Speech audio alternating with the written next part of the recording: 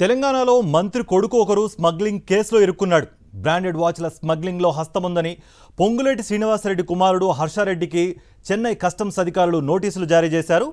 April నాలుగున విచారణకు రావాలని నోటీసులో పేర్కొనగా తాను డెంగ్యూ ఫీవర్తో బాధపడుతున్నట్లుగా హర్షారెడ్డి రిప్లై ఇచ్చారు. స్మగ్లింగ్ వాచ్ల కుంభకోణం వంద కోట్ల రూపాయలు పైబడి ఉంటుందని కస్టమ్స్ అధికారులు అంచనా వేస్తున్నారు.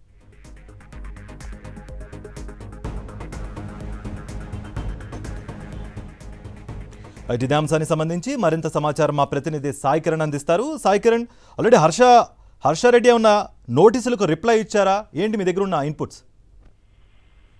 తెలంగాణ మంత్రి పొంగులేటి శ్రీనివాస్ రెడ్డి కొడుకు కొడుకు హర్షారెడ్డికి చెన్నై కస్టమ్స్ అధికారులు నోటీసులు జారీ చేశారు. దాదాపు వంద కోట్ల ఖరీదైనటువంటి ఈ స్మగ్లింగ్ వాచ్ల దాంట్లో అతనికి నోటీసులు ఇచ్చారు. విచారణకు హాజరు కావాలని కూడా నోటీసులలో పేర్కొన్నారు. అయితే ఈ నెల ఏప్రిల్ ఏప్రిల్ నాలుగో తారీఖులోనే విచారణకు హాజరు కావాలన్నారు. కానీ అప్పుడు డెంగ్యూ ఉంది. సో ఏప్రిల్ ఇరవై ఏడుకు విచారణకు వస్తానని కూడా రిప్లై ఇచ్చినట్టు తెలుస్తుంది. అయితే సింగపూర్ నుంచి ఇతర దేశాల నుంచి ముబీన్ అనేటువంటి ఒక వ్యక్తి ద్వారా అతను హాంకాంగ్ చెందినటువంటి వ్యక్తి అతని ద్వారా దాదాపు రెండు వాచ్లు రెండు ఖరీదైన వాచ్లు హర్షారెడ్డి కొనుగోలు చేసినట్టు అతని పైన ఆరోపణలు ఉన్నాయి. సో ఆ కొనుగోలు చేసినటువంటి వాచ్లకు సంబంధించిన డబ్బు క్రిప్టో కరెన్సీ ద్వారా హవాలా ద్వారా వారికి పే చేశారు. వీరి మధ్య మధ్యవర్తిత్వం వహించినటువంటి ఆలోక్ నవీన్ కుమార్ని ఇప్పటికే అరెస్ట్ చేశారు. సో ఈ కేసులో అయితే హర్షారెడ్డిని కూడా విచారించాలనేది కస్టమ్స్ అధికారులు భావిస్తున్నారు.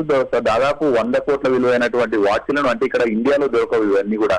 అంటే అక్కడ ఉన్నటువంటి బ్రాండ్స్ ఇక్కడ అయిపో అవి దొరకవు. సో అట్లాంటి వాచెస్ని ఇక్కడికి స్మగ్లింగ్ ద్వారా తెప్పించి ఇక్కడ సేల్ చేస్తూ ఉంటారు పెద్ద ఎత్తులో. సో ఆ రెండు వాచ్లను ఏ విధంగా కొనుగోలు చేశారు ఆ డబ్బు ఏ విధంగా హవాలా చేశారు? సో ఎప్పటి నుంచి అతనితో సంబంధాలు ఉన్నాయి అనేటువంటి ఈ కేసులో చెన్నై కస్టమ్స్ అధికారులు ఆ పొంగులేటి హర్షారెడ్డిని విచారించడానికి నోటీస్ ఇచ్చారు. సో దీనిపైన హర్షారెడ్డిని మీడియా కాంటాక్ట్ చేసే ప్రయత్నం చేసినప్పటికీ అతను ఇవన్నీ కూడా ఆరోపణలను కొద్దిగా చేసే ప్రయత్నం చేసినప్పటికీ కూడా ఏప్రిల్ ఇరవై ఏడు తారీఖున చెన్నై కస్టమ్స్ అధికారులు ఎదుట విచారణకు హాజరు కానున్నట్టయితే తెలుస్తుంది. రైట్